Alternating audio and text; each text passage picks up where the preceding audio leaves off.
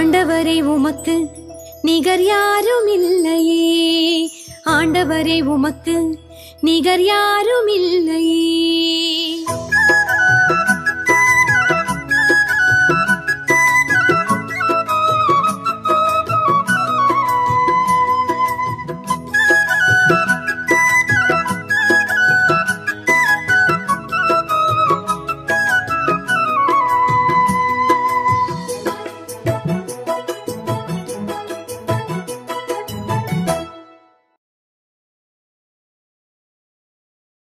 ஞான ஒலி இணைய வார ஒலி இதழ் கத்தோலிக்க திரு அவையில் முதல் ஒலி இதழ். வருடம் ஐந்து இதழ் நாற்பது இரண்டு பத்து இரண்டாயிரத்தி இருபத்தி இரண்டு தலையங்கம். நல்லவருக்கே நல்வாழ்வும் நிலைவாழ்வும் ஞானத்தின் மீது தாகமும் பற்றும் கொண்ட ஞான ஒலி இணைய இதழின் அன்பான வாசக பெருமக்களே உங்களுக்கு நாம் அருள்நாதர் இயேசு கிறிஸ்து என்னும் விண்ணக ஞானத்தின் பெயரால் நல் வாழ்த்துக்களை தெரிவித்துக் கொள்கின்றேன். இந்த வாரம் சென்னையில் உள்ள மிக பிரபலமான பாண்டி அங்காடி அல்லது பாண்டி பஜாரை பற்றியும் அந்த பெயருக்கு பின்னால் உள்ள சுவாரஸ்யமான சம்பவங்களை பற்றியும் அறிந்து கொள்வோம். இந்த அங்காடி டி நகரில் அமைந்துள்ளது. இதன் ஒரு பக்கம் டி நகர் அடுத்த பக்கம் அண்ணா சாலை அமைந்துள்ளது. இந்த அங்காடி நீதி கட்சியின் தலைவர்களில் ஒருவராய் இருந்த திரு சவுந்தர பாண்டியனார் என்பவரின் பெயரால் அழைக்கப்படுகின்றது. சென்னைக்கு வருகிற அனைவருக்கும் வாழ்வு தருகிற இடமாக இருந்தது. இன்றும் அப்படியே அது உதவுகின்றது. அங்கு உள்ள காவல் நிலையம் கூட சவுந்தர பாண்டியனார் அங்காடி காவல் நிலையம் என்றே அழைக்கப்படுகின்றது. திரு சவுந்தர பாண்டியனார் அவர்களின் ஆளுமைக்காகவும் அவர் தமிழ் சமூகத்திற்கு செய்த மாபெரும் தொண்டிற்காகவும் அவர் எதிர்கால சந்ததியினர் மறவாமல் இருப்பதற்காகவும் தான் அவரது பெயரை இந்த அங்காடிக்கு சூட்டியுள்ளார்கள். முதலில் சவுந்தரபாண்டி அங்காடி என்றுதான் அழைக்கப்பட்டது. அதன் பிறகு காலப்போக்கில் அது வழுவி பாண்டி பஜார் என்று இன்று அழைக்கப்படுகின்றது. அவர் ஆயிரத்தி எட்நூத்தி தொண்ணூத்தி மூன்று ஆயிரத்தி தொள்ளாயிரத்தி ஐம்பத்தி மூன்றாம் வருடங்களுக்கு இடைப்பட்ட காலத்தில் வாழ்ந்தவர் நம் நாயகர் W P A Soundara Pandian Nadar. அவர் தமிழகத்தைச் சேர்ந்த ஒரு புகழ்பெற்ற தொழிலதிபர். மேலும் சிறப்பாக அவர் நீதி கட்சியின் முன்னணி தலைவர்களுள் ஒருவராகவும் திகழ்ந்தார். சுயமரியாதை இயக்கத்தின் ஆதரவாளராகவும் விளங்கினார். ஆயிரத்தி தொள்ளாயிரத்தி இருபதில் தமிழக சட்டமன்ற உறுப்பினராகவும் பதவி வகித்தார். தந்தை பெரியாரின் சுயமரியாதை கருத்துக்களை பரப்புவதில் அதிக அக்கறை கொண்டவராக திகழ்ந்தார். அதை நடைமுறைப்படுத்த சுயமரியாதை திருமணங்களை பிரபலப்படுத்த உழைத்தவர். அவர் செல்வாக்கு மிகுந்தவராய் இருந்ததால் ஆயிரத்தி தொள்ளாயிரத்தி முப்பத்தி ஏழில் இருந்து ஆயிரத்தி தொள்ளாயிரத்தி நாற்பது வரை நடந்த இந்தி எதிர்ப்பு போராட்டங்களுக்கு அதிக நிதியுதவி செய்தார். ஆனால் தமிழக முன்னாள் அரசியல் ஆளுமை காமராஜ் அவர்களின் வளர்ச்சியினால் சவுந்தர பாண்டியனாரின் செல்வாக்கு குறைந்துவிட்டது. இவ்வளவு புகழ்மிக்கவரின் தனிப்பட்ட வாழ்வில் நடந்த சில சுவையான சம்பவங்களையும் அதன் மூலம் அவரின் தனிச்சிறப்புகளின் பின் உள்ள நற்குணங்களை அறிந்து கொள்வோம். அது நம் வாழ்விற்கும் பெரும் பலனை தரும். திண்டுக்கல்லில் உள்ள பட்டிவீரன்பட்டி என்ற ஊரில் அவருக்கு ஆயிரம் ஏக்கர் திராட்சை தோட்டம் ஒன்று இருந்தது. அங்கு விளைந்த திராட்சை பழங்கள் அதிக சுவைமிக்கதாக இருந்தன. அதை சுவைத்த அன்றைய மாவட்ட ஆட்சியாளர் அந்த பழங்களை கொண்டு ஒயின் தயாரித்தால் அதிக லாபம் தரும் தொழில் வாய்ப்பு உண்டு என்று அவருக்கு அறிவுரை கூறினார். அதன்படி அவர் தன் தோட்டத்தில் விளைந்த திராட்சை பழங்களை கொண்டு ஒயின் தயாரித்தார். அதை எடுத்துக்கொண்டு சென்று அந்த மாவட்ட ஆட்சியாளரிடம் கொடுத்தார். அதை சுவைத்த அவர் அது மிகுந்த சிறந்த ஒயின் என்று பாராட்டினார். அதை பெரிய அளவில் தயாரித்து பெரும் வியாபாரம் செய்யலாம். அதன் மூலம் பெரும் லாபம் சம்பாதிக்கலாம் என்று அவர் திட்டம் தீட்டினார். முதலில் தன் தாயாரின் ஆசியையும் அனுமதியையும் பெற விரும்பி தன் தாயிடம் சென்று தன் எதிர்கால திட்டத்தை பற்றி கூறினார். அவரின் தாய் ஒயின் ஒரு மது வகை. அது தமிழர்களை மதுவுக்கு அடிமையாக்கி அவர்களையும் அழித்து அவர்களின் குடும்பங்களையும் கண்ணீரில் தவிக்க விட்டுவிடும். ஆதலால் அதை செய்ய வேண்டாம். இந்த ஒயினால் பல கோடி பணம் வந்தாலும் அந்த பணம் நமக்கு வேண்டாம். இந்த காரியத்தை நீ செய்யவே கூடாது என்று கண்டிப்பாக அவர் தன் மகனிடம் கூறிவிட்டார். தன் தாய் தனது ஒயின் தயாரிக்கும் திட்டத்திற்கு தடை விதித்து விட்டாரே என்ற வருத்தத்தோடு இருந்தார். ஒரு முறை அவர் தனது காரை எடுத்துக்கொண்டு ஒரு கடைவீதிக்கு சென்றார். அப்போது சாலையோரம் தனது காரை நிறுத்திவிட்டு அமர்ந்திருந்தார். அப்போது ஒரு முகமதியர் அங்கிருந்த எல்லா கடைகளுக்கும் சென்று சாம்பிராணி போட்டு மயிலிறகால் அங்கு தூபமிட்டு அந்த கடைக்காரர்களை ஆசிர்வதித்துக் கொண்டிருந்தார். ஆனால் அவர் ஒரு குறிப்பிட்ட கடைக்கு மட்டும் சாம்பிராணி இடாமல் தவிர்த்ததை பார்த்த சவுந்தர பாண்டியனார் அந்த முகமதியரை அழைத்து எதற்காக அந்த குறிப்பிட்ட கடைக்கு மட்டும் சாம்பிராணி இடாமல் தவிர்த்ததன் காரணத்தை கேட்டார். அதற்கு அவர் ஐயா நான் எல்லா கடைகளுக்கும் சாம்பிராணி இட்டு அந்த கடையில் வியாபாரம் நன்றாக நடக்க வேண்டும். அவர்கள் எல்லாரும் செல்வாக்காக வாழ வேண்டும் என்று வாழ்த்தி ஜெபிப்பேன். ஆனால் அந்த கடையில் அவர்கள் விற்பது மது வகைகள்.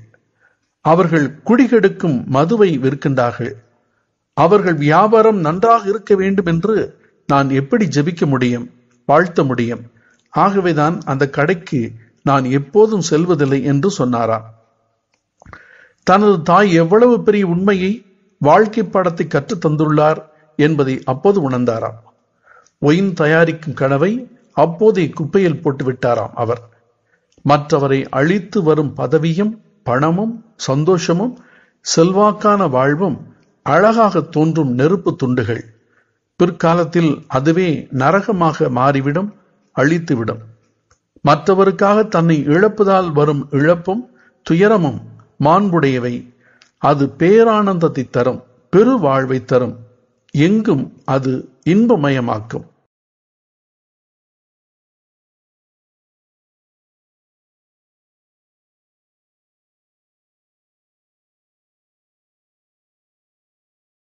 ஞான ஒலி இணைய ஒலி இதழ் வாசகர்களுக்கு அன்பு வணக்கங்கள். இன்று நாம் மோசே எகிப்திற்கு திரும்புதல் பற்றி சிந்திப்போம். ஆண்டவரின் அழைப்பை ஏற்றுக்கொண்ட மோசே எகிப்திற்கு செல்வதற்கான ஏற்பாடுகளில் ஈடுபடுகின்றார். முதல் முதலாக தனது மாமனாரிடம் அனுமதி கேட்கின்றார். மோசே ஒரேபு மலையில் பெற்ற கடவுள் அனுபவத்தை மாமனாரிடம் பகிர்ந்து கொள்ளவில்லை. ஆனால் எகிப்தில் வாழும் தன் இனத்தவரிடம் செல்ல வேண்டும் அவர்களின் வாழ்க்கை எப்படி உள்ளது என்பதை பார்க்க வேண்டும் என்ற ஆவலை அவருக்கு தெரிவிக்கின்றார். மோசையின் மாமனார் எந்த மறுமொழியும் கூறாமல் உடனே அனுமதி கொடுக்கின்றார். சமாதானமாய் போய் வா என அவரை அனுப்பி வைக்கின்றார். மோசே எகிப்திற்கு செல்வது என முடிவெடுத்தபின் ஆண்டவரும் அதற்கு ஒப்புதல் அளிக்கின்றார். எகிப்திற்கு திரும்பி போ ஏனெனில் உன் உயிரை பறிக்க தேடியவர்கள் எல்லோரும் இறந்துவிட்டனர் என அவருக்கு கூறுகின்றார். மோசே தனியாக எகிப்திற்கு செல்ல விரும்பவில்லை. அவருடைய மனைவி மற்றும் புதல்வர்களையும் எகிப்திற்கு அழைத்துச் செல்ல விரும்புகின்றார். அவர்களை ஒரு கழுதையில் ஏற்றி பயணிக்கின்றார். பண்டைய மேற்காசியாவில் மனிதர்கள் கழுதைகளை பயணத்திற்காக பயன்படுத்தினார்கள் என்பதை அறிய வருகிறோம். மோசே எகிப்திற்கு பயணிக்கையில் ஆண்டவர் அவருக்கு கூறியது போல அவரது கோலையும் கையில் எடுத்துச் செல்கின்றார். மோசேயின் கையில் இருக்கும் கோல் அவரது பணி தொடங்கிவிட்டது என்பதற்கு ஆதாரமாக உள்ளது என கூறலாம். எகிப்திற்கு புறப்பட்ட மோசையிடம் ஆண்டவர் மீண்டும் உரையாடுகின்றார். எகிப்திற்கு சென்றபின் அவர் என்ன செய்ய வேண்டும்? பார்வோனிடம் என்ன பேச வேண்டும் என்பதையெல்லாம் கூறுகின்றார். மோசேயின் கூற்றுக்களுக்கு பார்வோன் செவி கொடுக்க மாட்டான். மோசே செய்யும் அரும் செயல்களும் பார்வோனின் மனத்தில் எந்த மாற்றத்தையும் ஏற்படுத்தாது. ஏனெனில் ஆண்டவர் மோசேயிடம் நான் அவன் இதயத்தை கடினப்படுத்துவேன். அவன் மக்களை போகவிட மாட்டான் நீ பார்வோனிடம் ஆண்டவர் இவ்வாறு கூறுகிறார் இஸ்ரேல் என் மகன் என் தலைப்பிள்ளை. நான் உனக்கு கூறிவிட்டேன் என்னை வழிவிடுமாறு என் மகனை போகவிடு. அவனை அனுப்ப நீ மறுத்துவிட்டால் நானே உன் மகனை உன் தலைப்பிள்ளையை வெட்டி வீழ்த்தப் போகிறேன் என்று சொல்வாய் என கூறி அனுப்புகின்றார். இச்சொற்றொடர் இலக்கிய நயத்துடன் தலைப்பிள்ளைக்குரிய ஆபத்தை வெளிப்படுத்துகிறது. இங்கே மூன்று தலைப்பிள்ளைகளை பற்றிய செய்திகள் பரிமாறப்படுகின்றன. அவர்கள் முறையே ஆண்டவரின் தலைப்பிள்ளை இஸ்ரேல் பார்வனின் தலைப்பிள்ளை மற்றும் மோசேயின் தலைப்பிள்ளை. இஸ்ரேல் மக்கள் உடன்படிக்கையின் வழியாக கடவுளுடன் முதலில் உறவை ஏற்படுத்திக் கொண்டதால் ஆண்டவரின் தலைப்பிள்ளை என அறியப்படுகின்றனர். ஆண்டவரின் தலைப்பிள்ளையான இஸ்ரேலை கடவுளை வழிவிடுமாறு பார்வோன் போகவிட வேண்டும்.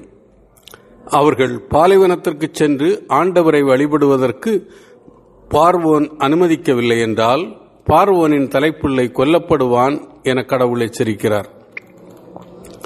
மோசே தனது குடும்பத்தினருடன் பயணத்தை தொடங்குகிறார். அடுத்து வருகின்ற செய்தி நமக்கு அச்சமூட்டுவதாக உள்ளது. ஆண்டவர் மோசையை வழியில் ஒரு சத்திரத்தில் எதிர்கொண்டு அவரை கொல்ல பார்த்தார் என வாசிக்கிறோம். இந்த செய்தியை எப்படி புரிந்து கொள்வது? ஆண்டவர்தான் மோசையை அழைத்து எகிப்திற்கு அனுப்புகின்றார். வழியில் அவரை கொல்ல பார்க்கிறார் என்ற செய்தி ஏற்றுக்கொள்ளும்படியானதாக இல்லை. மோசே ஆண்டவரால் அழைக்கப்பட்டவர் என்றாலும் அவர் முன்னிலையில் இரத்தப்பழி உள்ளவராகவே இருக்கிறார். வாக்களிக்கப்பட்ட நாட்டில் இஸ்ரேல் மக்கள் குடியேறிய பிறகு தவறுதலாக ஒருவரை கொலை செய்தவர் தஞ்சம் புகுவதற்காக அடைக்கல நகர்கள் உருவாக்கப்பட்டன. மோசே எகிப்தியனை கொண்டபின் தப்பியோடி மிதியானுக்கு வந்து தஞ்சம் புகுந்தார். இப்போது அவர் தஞ்சம் புகுந்த இடத்தை விட்டு வெளியே வருகையில் இரத்த பலிக்கு பதில் சொல்ல வேண்டியவராகிறார். பழைய ஏற்பாட்டில் கடவுளால் அழைக்கப்பட்டு அனுப்பப்பட்டவர்களில் சிலர் இத்தகைய சூழ்நிலைக்கு ஆளாவதை பார்க்க முடிகிறது. உதாரணமாக தொடக்க நூல் பிரிவு முப்பத்தி ரெண்டு இருபத்தி நான்கு முதல் முப்பத்தி ரெண்டு வரை உள்ள பகுதியில் யாக்கோபு கடவுளின் தூதருடன் மற்போரிடுவதை கூறலாம். மோசேயின் கதையிலும் யாக்கோபின் கதையிலும் ஆண்டவர் இரவு நேரத்தில் திடீரென தோன்றுகிறார். வல்லமை மிகுந்த ஒரு தீய ஆற்றலாக வெளிப்படுகிறார். தொடக்க நூலில் யாக்கோபு வாக்களிக்கப்பட்ட நாட்டை நோக்கி பயணிக்கிறார். ஆனால் அவர் அந்த இடத்தை அடையும் முன் அவரது மூத்த சகோதரனான ஏசாவை எதிர்கொள்ள வேண்டும். மோசே எகிப்தில் அடிமைகளாக வாழும் இஸ்ரேல் மக்களை விடுவிப்பதற்காக செல்கிறார். அவர்களை விடுவிக்கும் முன் பார்வோனை அவர் எதிர்கொள்ள வேண்டும். இரண்டு நிகழ்வுகளிலும் அவர்கள் அடைய வேண்டிய இடத்தை அடையும் முன் சில பிரச்சனைகளுக்கு தீர்வு காண வேண்டிய அவசியம் இருக்கிறது. இப்பாடத்தில் விருத்த சேதனத்தின் முக்கியத்துவமும் வெளிப்படுத்தப்படுகிறது. எகிப்தியர்கள் விருத்த சேதனம் செய்வதில்லை. மோசே எகிப்தில் பிறந்து வளர்ந்ததால் விருத்த சேதனம் செய்திருப்பதற்கு வாய்ப்பில்லை. ஆனால் இஸ்ரேல் மக்கள் விருத்த சேதனத்தை கடைபிடித்தார்கள். தொடக்க நூல் பிரிவு பதினேழு பத்து முதல் பதினான்கு வரை உள்ள இறைச் சொற்றொடர்களின்படி விருத்த சேதனம் இஸ்ரேலர்களின் அடையாளம் உடன்படிக்கையின் சின்னம். இஸ்ரேல் இனத்தின் ஆண் மக்களாக பல பொறுப்புகளை செய்வதற்கும் திருமணத்திற்கும் பாஸ்கா கொண்டாட்டத்தில் பங்கெடுப்பதற்கும் விருத்த சேதனம் கட்டாயமாக தேவைப்பட்டது. மோசேயும் அவரது புதல்வனும் விருத்த சேதனம் செய்யாதவர்களாக உள்ளனர். அத்துடன் முந்தைய பகுதி பார்வோனின் தலைப்பிள்ளைக்கு ஆபத்து வருவதை பற்றியும் பேசுகிறது. அதைத் தொடர்ந்து இப்பகுதி வருவதால் இங்கே ஆபத்தில் இருப்பது மோசே அல்ல மாறாக மோசேயின் தலைப்பிள்ளையான கெர்சோமாக இருக்கலாம். எனவே இந்நிகழ்வு இஸ்ரேலின் தலைப்பிள்ளைகள் தப்புவிப்பதற்காக கொண்டாடப்படுகின்ற பாஸ்கா விழாவையும் கிறிஸ்தவமுக்கு செய்யப்படும் விருத்த சேதனம் பாஸ்கா ஆட்டின் இரத்தத்தையும் நினைவூட்டுவதாக கருதலாம். பாஸ்கா இரவின் போது கடவுளின் தலைப்பிள்ளையான இஸ்ரேல் மீட்கப்பட்டது போல சிப்போராவின் செயல் அவளின் தலைப்பிள்ளையை யாவையிடமிருந்து மீட்கிறது? இஸ்ரேல் வாழ்வதற்காக பாஸ்கா ஆட்டின் ரத்தம் சிந்தப்படுகிறது. மோசே வாழ்வதற்காக அவரது மகன் கெர்சோனின் ரத்தம் தெளிக்கப்படுகிறது. விடுதலை பயணம் பிரிவு பனிரெண்டு நாற்பத்தி நான்கு மற்றும் நாற்பத்தி எட்டு சொற்றொடர்களின்படி விருத்த சேதனம் செய்தவர்கள் மட்டுமே பாஸ்கா உணவில் பங்கு கொள்ள முடியும். மோசேயும் கெர்சோமும் விருத்த சேதனம் செய்யவில்லை என்றால் இஸ்ரேல் மக்கள் எகிப்தை விட்டு வெளியேறும் முன் கொண்டாடப்பட்ட பாஸ்கா விழா விருந்தில் பங்கெடுத்திருக்க முடியாது. ஆண்டவரின் திட்டப்படி அவரால் தூண்டப்பட்டவராக ஆரோனும் மோசையை சந்திக்க பாலைவனத்திற்கு வருகிறார். இருவருக்கும் இடையில் நடக்கின்ற உரையாடலில் மோசே ஆண்டவர் கூறிய வார்த்தைகள் அனைத்தையும் ஆரோனுக்கு கூறுகிறார். இருவரும் இணைந்து எகிப்திற்கு செல்கிறார்கள். எகிப்தில் முதல் பணியாக இஸ்ரேல் மக்களின் பெரியோர்கள் அனைவரையும் ஒன்று கூட்டுகிறார்கள். இங்கே இஸ்ரேல் மக்களின் பெரியோர்கள் என கூறப்படுபவர்கள் குலத் தலைவர்களை குறிக்கும். இந்த தலைவர்கள் மக்களை ஒன்று கூட்டுவதற்கும் அவர்களின் செயல்களை மேற்பார்வையிடுவதற்கும் அதிகாரம் கொண்டிருந்தார்கள். மோசேயும் ஆரோனும் அவர்களுடன் உரையாடுகிறார்கள். ஆரோன் மோசேயின் வாயாக இருந்து செயல்படுகிறார். ஆண்டவர் மோசேக்கு கூறியவை அனைத்தையும் ஆரோன் இஸ்ரேல் மக்களின் பெரியோர்களுக்கு கூறுகிறார். அவர்கள் முன்னிலையில் பல அரும் செயல்களையும் செய்கிறார். ஆரோன் கூறியதை கேட்டு அவர் செய்த அரும் செயல்களையும் கண்ட மக்கள் அவர்களை நம்புகின்றனர். ஆண்டவர் மோசேக்கும் ஆரோனுக்கும் அளித்திருக்கும் அதிகாரத்தை ஏற்றுக்கொள்கின்றனர். ஆண்டவரை தொழுகின்றனர். அதைத் தொடர்ந்து மோசேயும் ஆரோனும் பார்வனை சந்திக்கின்றனர். மோசேயும் ஆரோனும் பார்வனை சந்திக்கும் நிகழ்வும் பார்வோனின் எதிர்வினைகளும் சாட்சிகளாக காட்சிகளாக சித்தரிக்கப்பட்டுள்ளன. அவற்றை ஆறு காட்சிகளாக நாம் பார்க்கலாம். முதல் காட்சியில் அதாவது பிரிவு ஐந்து ஒன்று முதல் ஐந்து வரை உள்ள இறைச்சொற்றொடர்களில் மோசேயும் ஆர்வனும் பார்வோனை சந்தித்து ஆண்டவர் அவர்களை சந்தித்ததையும் பாலைவனத்தில் அவருக்கு விழா எடுப்பதற்கு கட்டளையிட்டதையும் கூறி அதற்காக மக்களை போகவிட பார்வோனிடம் கேட்கின்றனர். பார்வோன் யார் இந்த ஆண்டவர் என கேட்டு அவர்களை போகவிட மறுக்கிறான்? இந்த காட்சியில் மோசே ஒரு இறைவாக்கினராக சித்தரிக்கப்பட்டுள்ளார். அவருடைய வார்த்தைகளும் இஸ்ரேலின் கடவுளாகிய ஆண்டவர் உரைத்துள்ளார் என்று தொடங்குகிறது. பின்னால் வரக்கூடிய பெருந்துன்பங்களுடன் ஒப்பிடும்போது மோசே கேட்கும் அனுமதி சாதாரணமானதுதான். ஆனால் பார்வோன் அதை மறக்கிறான். இரண்டாவது காட்சியில் அதாவது பிரிவு ஐந்து ஆறு முதல் ஒன்பது வரை உள்ள இறைச்சொற்றொடர்களில் பார்வோனின் எதிர்வினை வெளிப்படுகிறது. இஸ்ரேல் மக்களின் வேலைப்பளுவை பார்வோன் அதிகரிக்கச் செய்கிறான். அவர்கள் இதுவரை அறுத்து கொடுத்த அளவு செங்கல் அறுத்து கொடுக்க வேண்டும். ஆனால் அதற்கு தேவையான வைக்கோலை அவர்களே சேகரித்துக் கொள்ள வேண்டும் என கட்டளையிடுகிறான். செங்கல் தரமானதாக அமைவதற்கு வைக்கோல் அவசியமான ஒன்றாக இருந்தது. வேலைப்பழுவை அதிகரிப்பதன் வழியாக கடவுளை தொழுவதற்கு பாலைவனத்திற்கு செல்ல வேண்டும் என்ற எண்ணத்தை இஸ்ரேல் அடிமைகளின் சிந்தனைகளில் இருந்து மாற்றுவதுதான் பார்வோனின் நோக்கமாக இருந்தது. மூன்றாவது காட்சியில் அதாவது பிரிவு ஐந்து பத்து முதல் பதிமூன்று வரை உள்ள இறைச்சொற்றொடர்களில் அடிமை விலை வாங்கும் அதிகாரிகளும் மேற்பார்வையாளர்களும் இஸ்ரேல் மக்களின் வேலைப்பொழுவை அதிகரிக்கச் செய்வதில் முனைப்போடு செயல்படுகின்றனர். செங்கல் குறையாமல் அறுப்பதற்கு அவர்களை கட்டாயப்படுத்துகின்றனர். இஸ்ரேல் மக்கள் அதில் தோல்வியடைகின்றனர். வைக்கோல் கிடைக்காததால் அவர்களால் முன்பு போல வேலையை முடிக்கவில்லை. முடிக்க முடியவில்லை. நான்காவது காட்சியில் அதாவது பிரிவு ஐந்து இறை சொற்றொடர்கள் பதினான்கு முதல் பதினெட்டு வரை உள்ள பகுதியில் தங்களுக்கு கொடுக்கப்பட்ட வேலையை முழுமையாக முடிக்க முடியாததால் இஸ்ரேல் மக்கள் கடுமையாக தண்டிக்கப்படுகிறார்கள் அடிக்கப்படுகிறார்கள். இஸ்ரேல் மக்களின் மேற்பார்வையாளர்களும் தண்டிக்கப்படுகிறார்கள். அவர்கள் பார்வோனிடம் முறையிட்டும் எந்த பலனும் இல்லை. பார்வோனின் கட்டளைப்படி அவர்கள் வைக்கோல் கொடுக்கப்படாமலே நிர்ணயிக்கப்பட்ட செங்கற்களை அறுத்து கொடுக்க வேண்டும். ஐந்தாவது காட்சியில் அதாவது பிரிவு ஐந்து இறைச்சொற்றொட பத்தொன்பது முதல் இருபத்தி ஒன்று வரை உள்ள பகுதியில் கதை மோசைக்கு திரும்புகிறது. அவரது முயற்சிகள் தோல்வியை தழுவுவதாக காட்டப்படுகின்றன. மோசேயின் முன்னெடுப்புகள் தங்களை இக்கட்டில் மாட்டிவிட்டதாக மேற்பார்வையாளர்கள் கருதுகின்றனர். அவர்கள் மோசையிடமும் ஆரோனிடமும் ஆண்டவர் உங்களை கவனித்துக் கொள்ளட்டும். உங்களுக்கு தீர்ப்பு வழங்கட்டும். ஏனெனில் பார்வோன் முன்னிலையிலும் அவனுடைய அலுவலர் முன்னிலையிலும் நம்மவர் வாடையே பிடிக்காதவாறு நீங்கள் செய்துவிட்டீர்கள். நம்மை கொல்வதற்கான வாளை அவர்கள் கையில் வைத்து விட்டீர்கள் என முறையிடுகின்றனர். மோசேயின் திட்டம் இஸ்ரேல் மக்களை மிகவும் இக்கட்டான சூழலில் தள்ளிவிட்டிருக்கிறது. ஆறாவது காட்சியில் அதாவது பிரிவு ஐந்து இருபத்தி ரெண்டு முதல் பிரிவு ஆறு ஒன்று வரை உள்ள இறைச்சொற்றொடர்களில் மோசையை மீண்டும் கடவுளுடன் சந்திக்கிறோம். மோசையின் செயலால் இஸ்ரேலர்களுக்கு நேர்ந்த இக்கட்டான சூழ்நிலைகளை அவர் ஆண்டவரிடம் கூறுகிறார். அவர்களை விடுவிப்பதாக கூறி துன்பத்திற்குள்ளாக்கியதை வெளிப்படுத்துகிறார். அவர்களை விடுவிக்க வேண்டுகிறார். மோசையின் இச்செயல் இஸ்ரேலின் இறைவாக்கினர்களை நம் கண்முன் கொண்டு வருகிறது. அவர்கள் கடவுளின் வார்த்தைகளை மக்களுக்கு பறைசாற்றினார்கள். அதே வேளையில் மக்களின் தேவைகளையும் கடவுள் முன் வைத்தார்கள். இக்காட்சியில் மோசே தனக்காக மட்டுமல்ல இஸ்ரேல் மக்களுக்காகவும் கடவுள் முன் வேண்டுகிறார். ஆண்டவரின் பதில் மோசேயின் வேண்டுதலை உதறி தள்ளவில்லை ஆனால் கடவுளின் ஆற்றலை வெளிப்படுத்தும் சிந்தனையாக அது உள்ளது. மீண்டும் அடுத்த வாரம் சந்திப்போம்.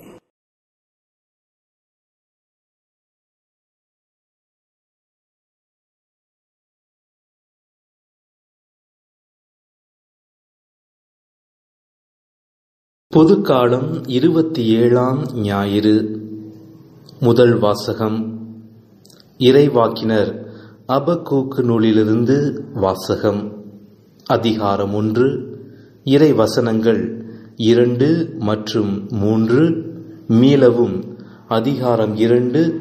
இரண்டு முதல் நான்கு முடிய உள்ள இறைவசனங்கள். இரண்டாம் வாசகம். புனித பவுல் திமோத்தியக்கு எழுதிய இரண்டாம் திருமுகத்திலிருந்து வாசகம் அதிகாரம் ஒன்று இறைவசனங்கள் ஆறு முதல் எட்டு முடிய மீளவும் பதிமூன்று மற்றும் பதினான்காம் இறைவசனங்கள். ஆண்டவர் உங்களோடு இருப்பாராக. லூக்கா எழுதிய தூய நற்செய்தியிலிருந்து வாசகம். அதிகாரம் பதினேழு. இறைவசனங்கள் ஐந்து முதல் பத்து முடிய. அக்காலத்தில் திருத்துதர்கள் ஆண்டவரிடம் எங்கள் நம்பிக்கையை மிகுதியாக்கும் என்று கேட்டார்கள். அதற்கு ஆண்டவர் கூறியது கடுகளவு நம்பிக்கை உங்களுக்கு இருந்தால் நீங்கள் இந்த காட்டு அத்தி மரத்தை நோக்கி நீ வேரோடே பெயர்ந்து போய் கடலில் வேரூன்றி நில் என கூறினால் அது உங்களுக்கு கீழ்ப்படியும். உங்கள் பணியாளர் உழுதுவிட்டோ மந்தையை மேய்த்துவிட்டோ வயல்வெளியிலிருந்து வரும்போது அவரிடம் நீர் உடனே வந்து உணவருந்த அமரும் என்று உங்களில் எவராவது சொல்வாரா? மாறாக எனக்கு உணவு ஏற்பாடு செய்யும் உம் இடையை வரிந்து கட்டிக்கொண்டு நான் உண்டு குடிக்கும் வரை எனக்கு பணிவிடை செய்யும் அதன் பிறகு நீர் உண்டு குடிக்கலாம் என்று சொல்வாரல்லவா?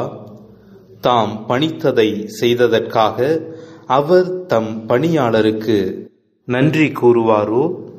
அதுபோலவே நீங்களும் உங்களுக்கு பணிக்கப்பட்ட யாவற்றையும் செய்தபின் நாங்கள் பயனற்ற பணியாளர்கள் எங்கள் கடமையை தான் செய்தோம் எனச் சொல்லுங்கள்.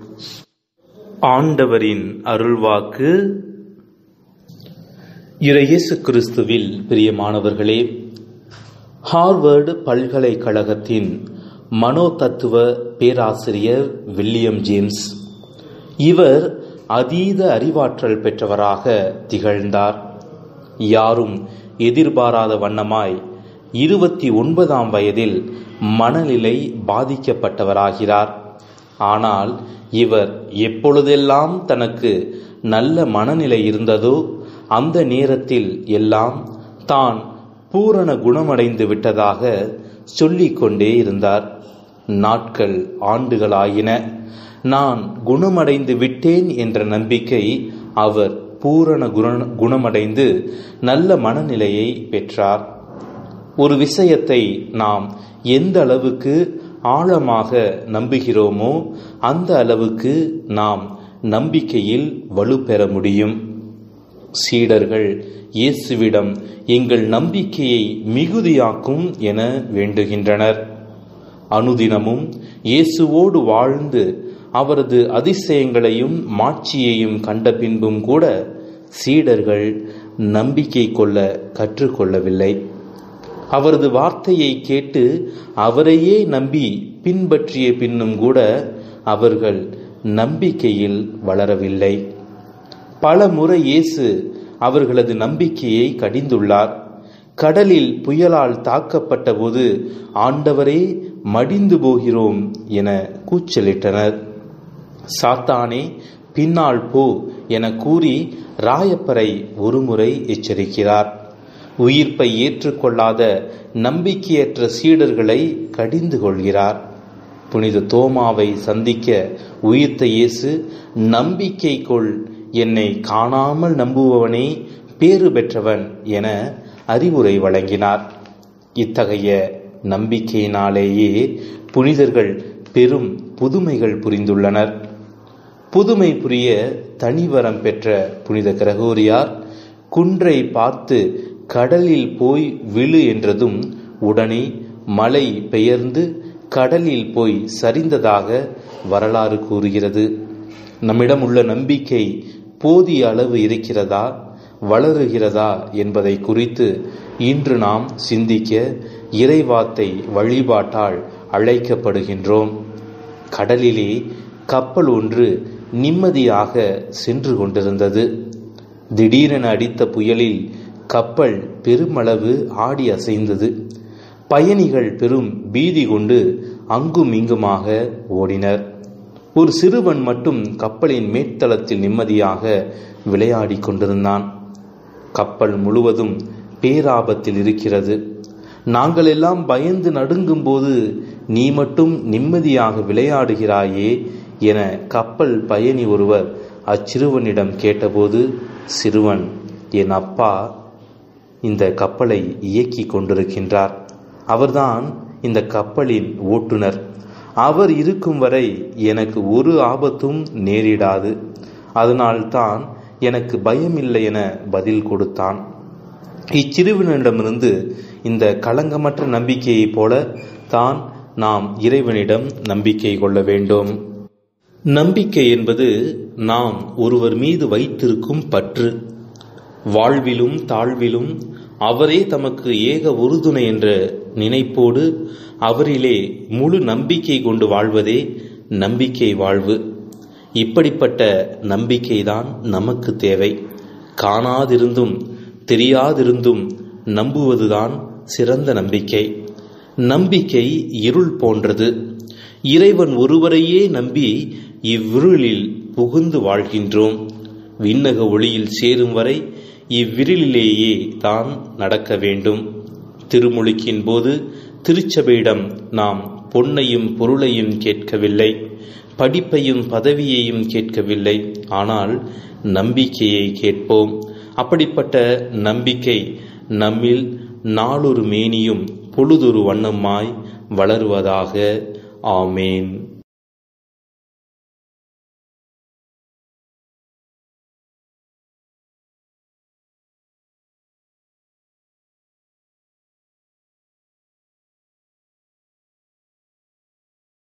பொது காலம் இருபத்தி ஏழாம் ஞாயிறு. முதல் வாசகம். அபாக்குக் நூலிலிருந்து வாசகம். அதிகாரம் ஒன்று இறை வசனங்கள் இரண்டு முதல் மூன்று வரை. மற்றும் இரண்டாம் அதிகாரம் இறை வசனங்கள் இரண்டு முதல் நான்கு வரை. இரண்டாம் வாசகம். புனித பவுல் திமோத்தேயுவுக்கு எழுதிய இரண்டாம் திருமுகத்திலிருந்து வாசகம். அதிகாரம் ஒன்று இறை வசனங்கள் ஆறு முதல் எட்டு வரை மேலும் பதிமூன்று முதல் பதினான்கு வரை. நற்செய்தி வாசகம். புனித லூக்கா எழுதிய நற்செய்தியிலிருந்து வாசகம். அதிகாரம் பதினேழு இறை வசனங்கள் ஐந்து முதல் பத்து வரை. திருப்பலி முன்னுரை. ஆழமான இறை நம்பிக்கை உதவியால் துன்பங்களை கடந்து வாழ வரம் வேண்டி வருகை தந்துள்ள அன்பு இறை மக்களே உங்கள் அனைவரையும் பொது காலத்தின் இருபத்தி ஏழாம் ஞாயிறு வழிபாட்டிற்கு அன்புடன் வரவேற்கிறேன். வாழ்க்கை என்ற படகு கரை சேர நம்பிக்கை என்ற துடுப்பு அவசியமாகிறது. நம்பிக்கை மனிதனை வாழ வைக்கின்றது. அத்தகைய நம்பிக்கையை மையப் பொருளாக கொண்டுள்ளது இன்றைய வழிபாடு. நாம் நமது இறை நம்பிக்கையை புதுப்பித்து அதனை மேலும் வலுவாக்க இன்றைய திருவழிபாடு நம்மை அழைக்கிறது. இது என்னால் முடியும் என்ற தன்னம்பிக்கை உள்ளவனால் ஒரு மலையை கூட பெய்த்தெடுக்க முடியும் என்ற நம்பிக்கை நங்கூரமாய் நம் நெஞ்சங்களில் இருக்கின்றது இன்றைய இறைவாக்கு. துன்பத்திலும் துவண்டு விடாமல் இருந்த யோபுவுக்கு அனைத்திலும் இரு மடங்காக பெற்றுத் தந்தது நம்பிக்கை.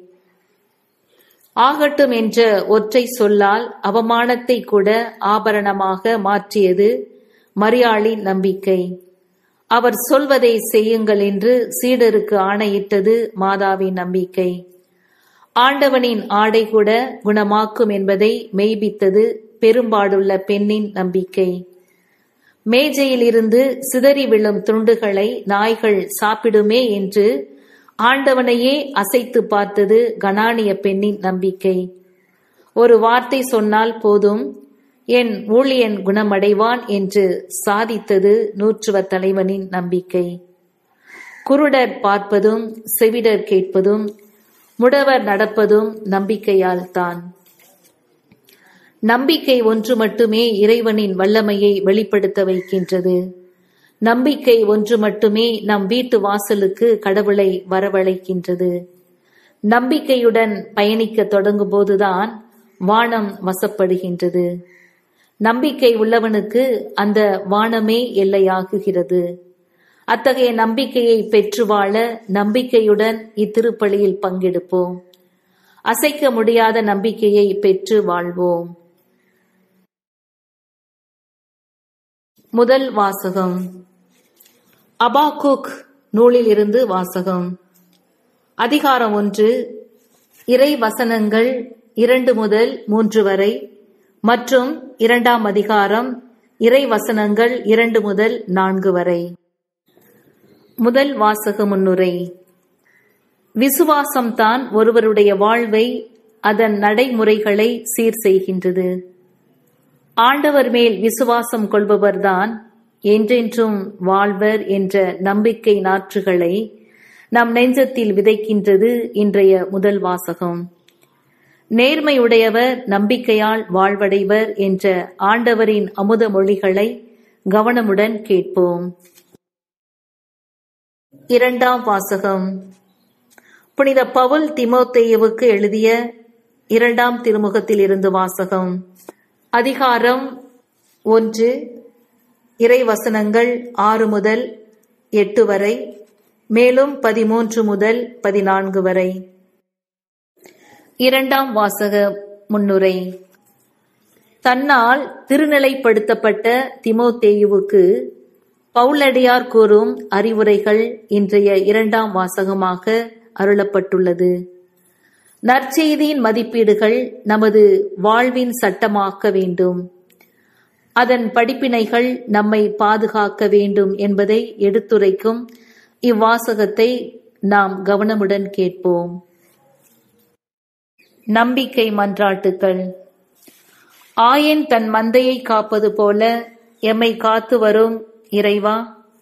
உம்மாலும் உம் தூய ஆவியின் அருளாலும் உம் திருப்பணிக்கென தேர்ந்து கொள்ளப்பட்ட எம் திருத்தந்தை ஆயர்கள் அருட்பணியாளர்கள் அனைவரையும் நிறைவாக ஆசீர்வதியும். நீர் வழங்கிய அருள் வரங்களால் மக்களை நல்வழிப்படுத்தி பயனை எதிர்பாராது பணிவிடை புரியும் பக்குவப்பட்ட அருட்பணியாளராய் அவர்கள் ஓப்புடன் ஊழியம் புரியவும் உடல் உள்ள நலனை பெற்று வாழவும் வரம் தர வேண்டுமென்று இறைவா உம்மை மன்றாடுகின்றோம். எம் கால்கள் இடராதபடி எம்மை பார்த்து கொள்ளும் அன்பு இறைவா. நாங்கள் எங்களது வாழ்வின் தூய ஆவியாரின் வழிநடத்தலோடு அன்னை மரியாவின் கரம் பிடித்து பயணிக்கவும் மற்றவர்களிடமிருந்து பலனை எதிர்பார்க்காமலும் நம்பிக்கையோடு நாங்கள் எங்கள் கடமையை செய்யவும் அருள் தர வேண்டுமென்று இறைவா உம்மை மன்றாடுகின்றோம். உறங்காமல் தன் கண் அயராமல் எம்மை காக்கும் இறைவா உம்மீது நாங்கள் கொண்ட நம்பிக்கையை மிகுதியாக்கும். காலம் கடந்தாலும் நீர் எம்மை கைவிட மாட்டீர் உம்மால் மட்டுமே எம்மை வாழ வைக்க முடியும். உம்மாய் அன்றி ஓர் அணுவும் அசையாது என்ற அசைக்க முடியாத நம்பிக்கையை நாங்கள் பெறவும் அந்த நம்பிக்கையின் வழியை நாங்கள் நல்வாழ்வு பெறவும் அருள் தர வேண்டுமென்று இறைவா உமை மன்றாடுகின்றோம். அமைதியை அருளும் அருட்கொடையே கவலைகளால் கண்ணீர் சிந்தி துன்பங்களால் துயரடைந்து வாட்டும் நோய்களால் விரக்தி அடைந்து நிம்மதி இழந்து தவிக்கும் எம்மை கருணையுடன் பாரும். துன்ப துயரங்களில் இருந்தும் வாட்டுகின்ற நோய்களில் இருந்தும் எம்மை பூரணமாக விடுவித்து அமைதியையும் ஆறுதலையும் தந்து ஆதரிக்க வேண்டுமாய் இறைவா உம்மை மன்றாடுகின்றோம். எச் ஏ கிருட்டின பிள்ளை இயற்றிய ரச்சனிய மனோகரம். துட்டரோடு உறவாடி நான் மட்டிலாத உன் மார்க்கனாய் கெட்டிடா வகை கிருபை செய் தட்டிலாத தயாபரா. இறைவா தடைகளற்ற அருள் வெள்ளமே தீயவர்கள் இணைந்திருக்கும் இவ்வுலகில் நான் அவர்களோடு சேர்ந்து தவறான வழியில் சென்றுவிடா வண்ணம் என் கரம் பிடித்து நீர்தான் நல்வழியில் செல்ல அருள் புரிய வேண்டும்.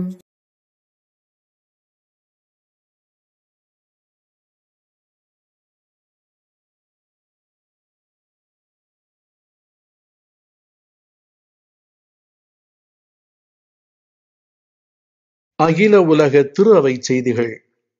கேமரூனில் நிசாங் என்ற ஆங்கிலம் பேசும் மக்கள் வாழும் கிராமத்தில் இருந்த புனித மரியன்னையின் ஆலயத்தை துப்பாக்கி ஏந்திய தீவிரவாதிகள் தீயிட்டு கொளுத்தியதோடு ஐந்து குருக்களையும் ஒரு கன்னியாஸ்திரியையும் உபதேசியார் சமையல்காரர் மற்றும் ஒரு இளம் பெண்ணையும் கடத்தி சென்று விட்டார்கள். பிறகு அந்த பகுதி ஆயரிடம் அவர்களை விடுவிக்க பெரும் பிணைத் தொகையை கேட்டிருக்கிறார்கள். ஆனால் ஆயர் குழுவின் தலைமை ஆயர் அவர்கள் கேட்கும் பிணை தொகையை கொடுக்க போவதில்லை. அவ்வாறு நாம் கொடுத்தால் அது ஒரு முன் உதாரணமாகிவிடும். மேலும் அது பல கடத்தலுக்கு வழியாக அமைந்துவிடும் என்று கூறியுள்ளார். பாகிஸ்தானில் சமீபத்தில் முகமது நபிகளை அவதூறாக பேசியதாக சிறையில் அடைக்கப்பட்ட ஐம்பத்தி ஏழு வயதான அன்வர் மாஷி அவர்களுக்கு பிணையானது மறுக்கப்பட்டுள்ளது. அவர் தன் சொந்த குடும்பத்தாருடன் விவாதித்ததை தவறாக சித்தரித்து துஷ்பிரயோக சட்டத்தின் அடிப்படையில் அவர் குற்றம் சாட்டப்பட்டுள்ளது. மிகவும் தவறானது. அவர் தவறாக குற்றம் சுமத்தப்பட்டுள்ளார் என்று நீதியின் குரல் என்ற அமைப்பின் தலைவர் திரு ஜோசப் ஜென்சன் கூறியுள்ளார். பங்களாதேஷில் டாக்காவின் அருகில் உள்ள காசிப்பூர் என்ற மாவட்டத்தில் குசிலாபாரி என்ற இடத்தில் இயேசு சபையினர் புனித சேவியர் அகில உலக பள்ளியை துவங்கியுள்ளனர். இது கொரோனா பெருந்தொற்றினால் கடந்த இரண்டு ஆண்டுகளாக தள்ளி போனது அந்த பள்ளியின் விருது வாக்கு என்னவென்றால் ஒரு நெருப்பு மற்றொரு நெருப்பை ஏற்றி வைக்கும் என்பதாகும். தற்போது அந்த பள்ளியில் முப்பத்தி நான்கு குழந்தைகள் படிக்கின்றார்கள். அது அறுநூறு மாணவர் வரை படிக்கும் வசதிகள் ஏற்படுத்தப்பட்டுள்ளது. கடந்த செப்டம்பர் பத்தொன்பதாம் தேதியன்று நேபாளில் பெய்த கடும் மழையாலும் அதனால் ஏற்பட்ட நிலச்சரிவினாலும் ஏறக்குறைய ஐம்பது பேர் இறந்திருக்க கூடும் என்று அரசு வட்டாரங்கள் அறிவித்துள்ளது. மேலும் மேற்கு நேபாளில் நிலச்சரிவில் இருபத்தி ரெண்டு பேர் கொல்லப்பட்டனர் மற்றும் நூறு வீடுகளுக்கு மேல் மண்ணில் புதைந்துள்ளன என்று போலீஸ் அதிகாரி நாராயண் டாங்கி அவர்கள் செய்தியாளர்களுக்கு தெரிவித்துள்ளார். வட வியட்நாமைச் சேர்ந்த கத்தோலிக்கர்கள் இரண்டு நூற்றாண்டுகளுக்கு பிறகு புனித சூசியப்பர் ஆலயத்தை கட்டியுள்ளனர். சமீபத்தில் திறந்து வைக்கப்பட்டு திருப்பலி நிறைவேற்றப்பட்டுள்ளது. அதில் ஆயர்களும் நூற்றுக்கும் மேற்பட்ட குருக்களும் இறைமக்களும் கலந்து கொண்டனர்.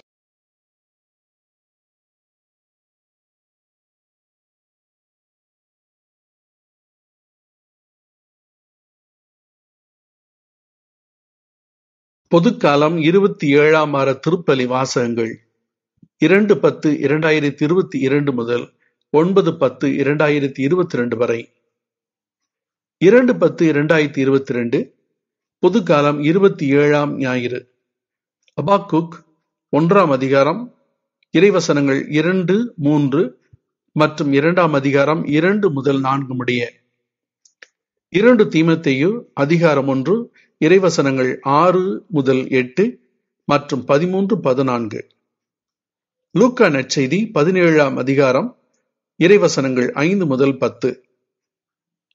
மூன்று பத்து இரண்டாயிரத்தி இருபத்தி ரெண்டு திங்கட்கிழமை.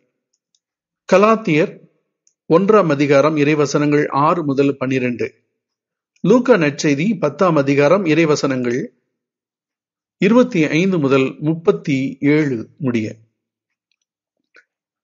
நான்கு பத்து இரண்டாயிரத்தி இருபத்தி ரெண்டு செவ்வாய்க்கிழமை புனித அசிசி பிரான்சிஸ் விழா கலாத்தியர்கள் திருமுகம் அதிகாரம் ஒன்று இறைவசனங்கள் பதிமூன்று முதல் இருபத்தி நான்கு முடிய. லூக்கா நற்செய்தி பத்தாம் அதிகாரம் இறைவசனங்கள் முப்பத்தி எட்டு முதல் நாற்பத்தி இரண்டு முடிய. ஐந்து பத்து இரண்டாயிரத்தி இருபத்தி ரெண்டு புதன்கிழமை கலாத்தியருக்கு திருமுகம் இரண்டாம் அதிகாரம் இறைவசனங்கள் ஒன்று இரண்டு மற்றும் ஏழு முதல் பதினான்கு முடிய. லூக்கா நற்செய்தி பதினொன்றாம் அதிகாரம் இறைவசனங்கள் ஒன்று முதல் நான்கு முடிய. ஆறு பத்து இரண்டாயிரத்தி இருபத்தி ரெண்டு வியாழக்கிழமை கலாத்தியருக்கு திருமுகம் மூன்றாம் அதிகாரம் இறைவசனங்கள் ஒன்று முதல் ஐந்து. லூக்கா நற்செய்தி பதினொன்றாம் அதிகாரம் இறைவசனங்கள் ஐந்து முதல் பதிமூன்று முடிய. ஏழு பத்து இரண்டாயிரத்தி இருபத்தி ரெண்டு வெள்ளிக்கிழமை புனித ஜெவமாலை அன்னை திருவிழா. கலாத்தியருக்கு திருமுகம் மூன்றாம் அதிகாரம் இறைவசனங்கள் ஏழு முதல் பதினான்கு முடிய. லூக்கா நெச்செதி பதினொன்றாம் அதிகாரம் இறைவசனங்கள் பதினைந்து முதல் இருபத்தி ஆறு முடிய. எட்டு பத்து இரண்டாயிரத்தி இருபத்தி ரெண்டு சனிக்கிழமை. கலாத்தியருக்கு திருமுகம் மூன்றாம் அதிகாரம் இருபத்தி இரண்டு முதல் இருபத்தி ஒன்பது முடிய. லூக்கா நச்சதி பதினொன்றாம் அதிகாரம் இறைவசனங்கள் இருபத்தி ஏழு மற்றும் இருபத்தி எட்டு முடிய. ஒன்பது பத்து இரண்டாயிரத்தி இருபத்தி ரெண்டு பொதுக்காலம் இருபத்தி எட்டாம் ஞாயிறு. இரண்டு அரசர்கள் ஐந்தாம் அதிகாரம் இறைவசனங்கள் பதினான்கு முதல் பதினேழு முடிய. இரண்டு தீமத்தையு இரண்டாம் அதிகாரம் இறைவசனங்கள் எட்டு முதல் பதிமூன்று முடிய. லூக்கா நெச்சதி பதினேழாம் அதிகாரம் இறைவசனங்கள் பதினொன்று முதல் பத்தொன்பது முடிய.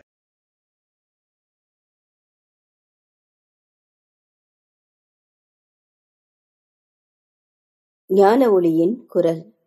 அனைவருக்கும் வணக்கம்.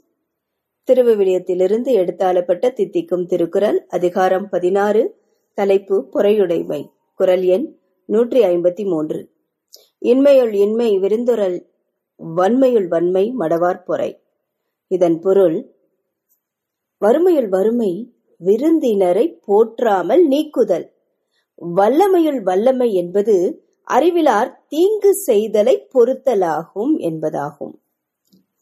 செல்வர் இரையாட்சிக்கு உட்படுவதை விட ஊசியின் காதில் ஒட்டகம் நுழைவது எளி எளிது என்று மத்தையின் நற்செய்தி பத்தொன்பதாம் அதிகாரம் இருபத்தி நான்காம் இறைவசனத்தில் இயேசு கூறுகிறார்.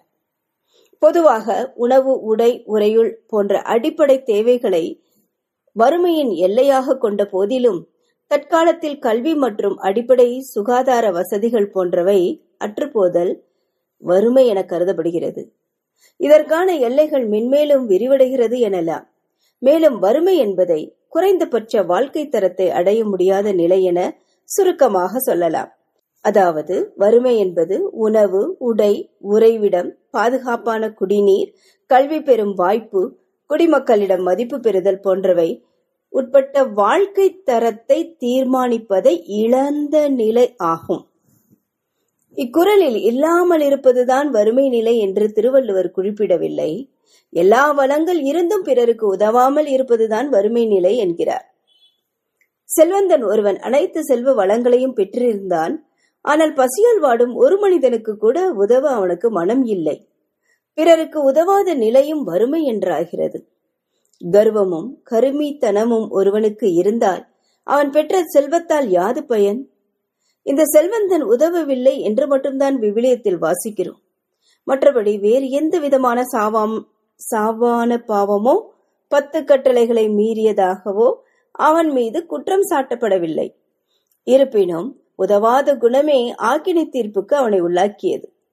செல்வந்தன் என்பதெல்லாம் இவ்வுலக மனித வாழ்விற்கு மட்டும்தான். ஆனால் பரலோகம் இவற்றையெல்லாம் அனுமதிப்பதில்லை. தன்னை நேசிப்பது போல பிறரையும் நேசி என்பதுதான் இயேசு நமக்கு கற்பித்த இரண்டாவது கட்டளை. அதன்படி நட்புகளும் உறவுகளும் இருக்க வேண்டும். உடுக்க இழந்தவன் கை போல அங்கே இடுக்கன் களைவதாம் நட்பு. உடை நழுவும் போது உடனே சென்று உதவும் கை போல நண்பனுக்கு துன்பம் வந்த போது உடனே சென்று அத்துன்பத்தை போக்குவதே சிறந்த நட்பு சிறந்த உறவாகும் என்பதை போல பிறருக்கு உதவ வேண்டும். இதுவே மனிதனுக்கு இறைவன் அளித்த மாபெரும் கட்டளை. இறைவன் மனமிறங்கி ஒருவருக்கு செல்வத்தை வாரி வழங்குவது போல அச்செல்வந்தரும் மனமிறங்கி மற்ற மனிதனுக்கு உதவ வேண்டும் என்பதை தான் இறைவன் விரும்புகிறார். யாம் பெற்ற இன்பம் பெருக இவ்வையகம் என வாழ்வதுதான் மனிதருக்கு அழகு. இல்லையெனில் எந்த நன்மையும் இல்லாத இடமான நரகத்தில் பன்மடங்கு துன்பத்தை அடைவான் என்பதை நற்செய்தி நமக்கு கூறுகிறது. செல்வர் ஒருவர் இருந்தார். அவர் விலை உயர்ந்த மெல்லிய செந்நிற ஆடை அணிந்து நாள்தோறும் விருந்துண்டு இன்புற்றிருந்தார். லாசர் என்னும் பெயர் கொண்ட ஏழை ஒருவரும் இருந்தார். அவர் உடல் முழுவதும் புண்ணாய் இருந்தது அவர் அச்செல்வருடைய வீட்டு வாயில் அருகே கிடந்தார். அவர் செல்வருடைய மேசையிலிருந்து விழும் துண்டுகளால் தம் பசியாற்ற விரும்பினார். நாய்கள் வந்து அவர் புண்களை நக்கும். அந்த ஏழை இறந்தார். வானதூதர்கள் அவரை ஆப்ரஹாமின் மடியில் கொண்டு போய் சேர்த்தார்கள். செல்வரும் இறந்தார். அவர் அடக்கம் செய்யப்பட்டார். அவர் பாதாளத்தில் வதைக்கப்பட்ட போது அண்ணாந்து பார்த்து தொலையில் ஆபிரகாமையும் அவரது மடியில் லாசரையும் கண்டார். அவர் தந்தை ஆபிரகாமே எனக்கு இறங்கும் லாசர் தமது விரல் நுனியை தண்ணீரில் நனைத்து எனது நாவை குளிர செய்ய அவரை அனுப்போம். ஏனெனில் இத்தீ பிழம்பில் நான் மிகுந்த வேதனைப்படுகிறேன் என்று உறக்க கூறினார். அதற்கு அப்ரஹாம் மகனே நீ உன் வாழ்நாளெல்லாம் நலன்களையே பெற்றாய். அதே வேளையில் லாசர் இன்னல்களையே அடைந்தார். அதை நினைத்துக்கொள் இப்பொழுது அவர் இங்கே ஆறுதல் பெறுகிறார். நீயோ மிகுந்த வேதனைப்படுகிறாய். அன்றியும் எங்களுக்கும் உங்களுக்கும் இடையே பெரும் பிளவும் ஒன்று உள்ளது. ஆகையால் இங்கிருந்து ஒருவர் உங்களிடம் வர விரும்பினாலும் கடந்து வர இயலாது. அங்கிருந்து நீங்கள் எங்களிடம் கடந்து வரவும் இயலாது என்றார். அவர் அப்படியானால் தந்தையே அவரை என் தந்தை வீட்டுக்கு அனுப்புமாறு உம்மிடம் வேண்டுகிறேன். எனக்கு ஐந்து சகோதரர்கள் உண்டு. அவர்களும் வேதனை மிகுந்த இந்த இடத்திற்கு வராதவாறு அவர் அவர்களை எச்சரிக்கலாமே என்றார். அதற்கு ஆபிரகாம் மோசேயும் இறைவாழ்க்கினர்களும் அவர்களுக்கு உண்டு அவர்களுக்கு செவிசாய்க்கட்டும் என்றார். அவர் அப்படியல்ல தந்தை ஆபிரகாமே இறந்த ஒருவர் அவர்களிடம் போனால் அவர்கள் மனம் மாறுவார்கள் என்றார். ஆபிரகாம் அவர்கள் மோசைக்கும் இறைவாக்கினருக்கும் செவி சாய்க்காவிட்டால் இறந்த ஒருவர் உயிர்த்தெழுந்து அவர்களிடம் போனாலும் நம்ப மாட்டார்கள் என்றார். லூகா நற்செய்தி அதிகாரம் பதினாறு இறைவசனங்கள் பத்தொன்பது முதல் முப்பத்தி ஒன்று முடிய. அடுத்ததாக வல்லமையில் வல்லமை என்பது அறிவிலார் தீங்கு செய்தலை பொறுத்தலாகும் என்பது. பிழைத்தல் பொறுத்தல் பெருமை சிறுமை இழைத்த தீங்கு எண்ணியிருந்த நிலைத்த பகைக்கெட வாழ்வதும் பல்பொருளார் நல்லார் நகைக்கெட வாழ்வது நன்று என்று சிறுபஞ்சமூலம் கூறுகிறது. அதாவது பிறர் செய்த பிழையை பொறுத்து கொள்ளுதல் பெருமை. பிறர் செய்த தீங்கை எண்ணிக்கொண்டிருத்தல் சிறுமை. ஒருவர் செய்கொண்ட பகைமை கெடும்படி வாழ்தல் நன்று. பல பொருட்செல்வம் உடையவர்கள் நகைக்காமல் இருக்கும்படி வாழ்தல் நன்று. நல்லவர்கள் நகைக்காமல் இருக்கும்படி வாழ்தல் நன்று என்று சிறுபஞ்ச மூலம் கூறுகிறது. ஆண்டவராகிய இயேசு கிறிஸ்து அறிவில்லாத மனிதர்களாகிய நம் தீங்குகளை மன்னித்ததால் சிலுவைச்சாவை ஏற்று நம்மை மீட்டெடுத்தார். இதுவல்லவோ வல்லமையில் வல்லமை. ஆண்டவரின் சொந்த பிள்ளைகள் என்று சொல்லிக் கொள்ளும் நாம் ஒவ்வொருவரும் அவர் விருப்பப்படி வாழ்கிறோமா என்பதை ஆராய்ந்து பார்ப்போம். இயேசுக்கே மகிமை லீமா விக்டோரியா. நன்றி.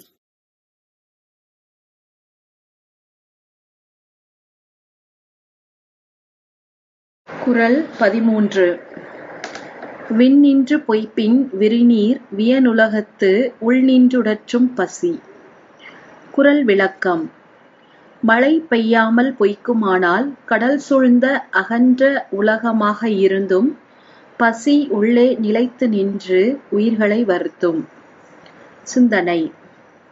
இயான் கிரிலோப்பின் கதையொன்று உண்டு. அதில் ஒரு சிங்கத்திற்கு அணில் ஊழியம் செய்தது. அதன் சேவகம் சிங்கத்திற்கு பிடித்திருந்தது. சில நேரங்களில் தன் கூறிய பற்களாலும் கால் நகங்களாலும் சிங்கத்தை மென்மையாக வருடி முதுகு சொரிந்து விடுவதுதான் அணிலின் பணி.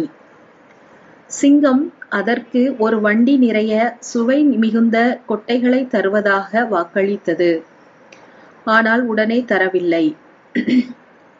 காலம் பறந்தது. தன் நண்பர்கள் மரங்களில் அங்கும் இங்கும் திரிவதை பார்த்ததும் அதற்கு துயரம் ஏற்படும். அவை கொட்டைகளை உடைத்து சாப்பிடுவதை பார்த்தால் ஏக்கம் உண்டாகும். ஆக சிங்கத்திற்கு சேவகம் புரிய விரும்பாமல் வெளியே வந்துவிட முயன்ற போதும் மறுபடியும் சேவகத்திற்கு வலுக்கட்டாயமாக இழுத்து வரப்பட்டது. வயதாகி அது பணி ஓய்வு பெறும் நேரம் அதற்கு வண்டி நிறைய பழமும் உலர்ந்த கொட்டைகளும் தரப்பட்டன. அனைத்தும் மிகவும் ருசியானவை அருமையானவை. ஆனால் அந்த அணிலோ வெகு நாட்களுக்கு முன்பே தன் பற்களை இழந்து விட்டிருந்தது. மழை நீர் விண்ணிலிருந்து வருவதால் அது அமிழ்து என்றும் அது வந்த பின் மனிதனுக்கு உணவாகிறது என்றும் முந்தைய குரல்கள் விளக்கின. விண்ணின்று பெய்கின்ற அமிழ்தம் போன்ற மழைநீர் பொய்த்துவிட்டால் இந்த விரி நீராகிய கடல் நீரால் பயனில்லை. அதாவது இந்த உலகம் எப்படி இயங்குகிறது? எதனால் இயங்குகிறது? யாரால் இயங்குகிறது என்று சொல்ல முடியாது. முற்றிலுமாக அதை கண்டுபிடிக்க முடியாது. ஆகவே வியப்புக்குரிய இந்த கடலால் சூழப்பட்ட உலகில் மழை இல்லையேல் மனிதனை பசியால் வாட்டிவிடும் என்கிறார் வள்ளுவர். மழை பொய்த்து விட்டது என்றால் இந்த மனிதன் உடல் பசியால் இறந்து விடுவான் என்கிறார். உணவு உயிருக்கு சமமானது. எப்படியெனில் உண்டி கொடுத்தோர் உயிர் கொடுத்தோரே என்கிறது சிலப்பதிகாரம். மாதவி அட்சய பாத்திரத்தில் எல்லோருக்கும் உணவு கொடுக்கிறார். அவரை உணவு கொடுத்தவர் உயிர் கொடுத்தவருக்கு சமம் என்று இளங்கோவடிகள் குறிப்பிடுகிறார். இந்த மழை நீர் பொய்த்துவிட்டது என்றால் உயிர் இழப்பதற்கு வேறு காரணமே தேவையில்லை. எனவே இந்த மழை நீர் நமக்கு உயிரை கொடுக்கிறது எனலாம். வேதாகமத்தில் இறைவனின் தண்டனையாக மழை நிறுத்தி வைக்கப்பட்டது. எலியாவின் காலத்தில் மூன்றரை ஆண்டுகளாக வானம் பொய்த்தது. நாடெங்கும் பெரும் பஞ்சம் உண்டானது. லூக்கா நான்கு இருபத்தி ஐந்தாவது வசனம். இயற்கையில் உறைந்திடும் இறைவனை அழியாமல் பாதுகாத்தால் இயற்கை நம்மை பாதுகாக்கும். வானம் பொய்க்காது. நம்மால் இயற்கையை காக்க இயலாவிடில் இயற்கை நம்மை காப்பது கடினம். மழை பெய்தால் உணவு விளையும். உணவு கிடைத்தால் உயிர்கள் வாழலாம். உயிர் வாழ உணவு கொடுத்தவர் உயிர் கொடுத்தவர் ஆவார். உணவை காலம் தாழ்த்தி கொடுத்தால் அதனால் பயன் ஒன்றுமில்லை என்பதை அணிலின் கதை நன்கு விளக்குகிறது. உணவுக்கு ஆதாரமாகும் மழை காலம் தாழ்த்தி வந்தாலும் அதனால் பயனில்லை.